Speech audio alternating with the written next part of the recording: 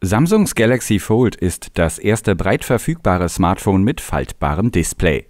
Der OLED-Bildschirm liegt auf der Innenseite des Gerätes, das ähnlich wie ein Nokia Communicator aufgeklappt werden kann. Dann können wir ein 7,3 Zoll großes Display verwenden. Auf der Außenseite ist ein schmales 4,6 Zoll Display eingebaut. Im Alltag ertappen wir uns dabei, das Galaxy Fold immer aufzuklappen, was wir etwas umständlich finden. Der Außenbildschirm ist uns schlichtweg zu klein. Aufgeklappt eignet sich das Galaxy Fold besonders gut, um Webseiten und Bücher zu lesen. Auch Spiele wirken auf dem großen Bildschirm gut. Bei Videos gibt es Einschränkungen. Ein moderner Kinofilm beispielsweise ist auf dem Fold genauso groß wie auf einem Smartphone herkömmlicher Bauart. Der Klappmechanismus wirkt auf uns sehr stabil. Aufgeklappt ist das Galaxy Fold absolut plan. Der auffällige Falz in der Mitte ist sowohl spür- als auch sichtbar, was uns tendenziell stört. Direkt von vorne aus betrachtet fällt er am wenigsten auf.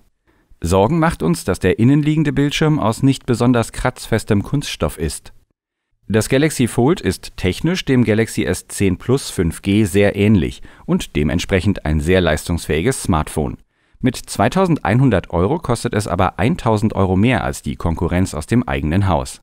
Das ist der Aufpreis, den Nutzer für den faltbaren Bildschirm zahlen.